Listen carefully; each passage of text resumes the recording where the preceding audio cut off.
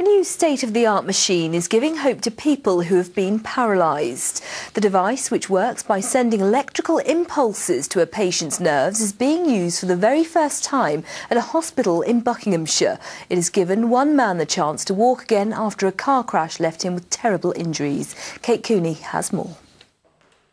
For David Hartill, every step is a struggle. Each time he moves his left foot, it rolls outwards, almost buckling under his weight.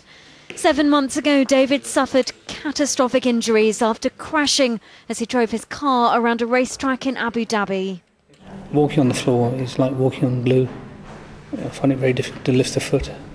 David is being treated at the Royal Buckinghamshire Hospital in Aylesbury. He's one of the first patients in the country to be fitted with a special device. One part is strapped to his leg and the other attaches to his shoe. The machine sends electrical impulses to David's nerves to help him regain control over his weakened muscles. Without this, it's very hard to describe just how tiring it is to walk.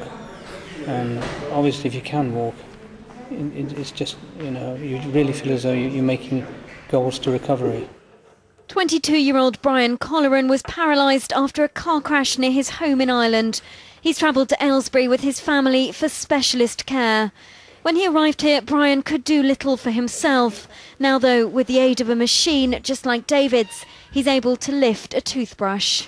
It does give them a lot of positive, um, positive hope that yes, there is something which can, apart from the therapy, there is something which which can just magically give them improvement. The device doesn't just give instant improvement. Over time, it reteaches the brain how to control a patient's muscles, which means every time they use it, their mobility becomes a little better. It's a very emotional um, situation in which you get somebody who can't pick something up without the device, but then when they have the device, they can be independent. David works hard at his exercises every day. His goal, he says, is to get back to normal. Kate Cooney in Aylesbury for Meridian Tonight. And we wish him all the very best. Now, it is